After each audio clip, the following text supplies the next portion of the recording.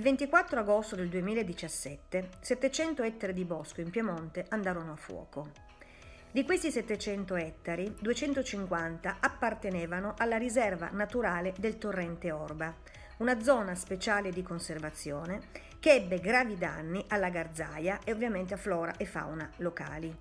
In un attimo, in quei momenti concitati, quei 700 ettari di bosco andati a fuoco divennero 7000 per la rivista Piemonte Parchi, rivista di informazione e divulgazione naturalistica della regione Piemonte.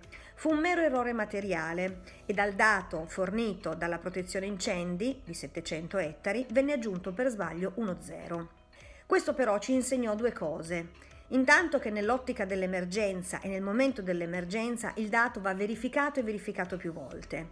E poi che i cambiamenti climatici, le conseguenze dei cambiamenti climatici vanno comunicati non solo nel momento dell'incendio e non solo nel momento dell'alluvione, ma eh, quotidianamente perché gli effetti sono sotto gli occhi di tutti noi.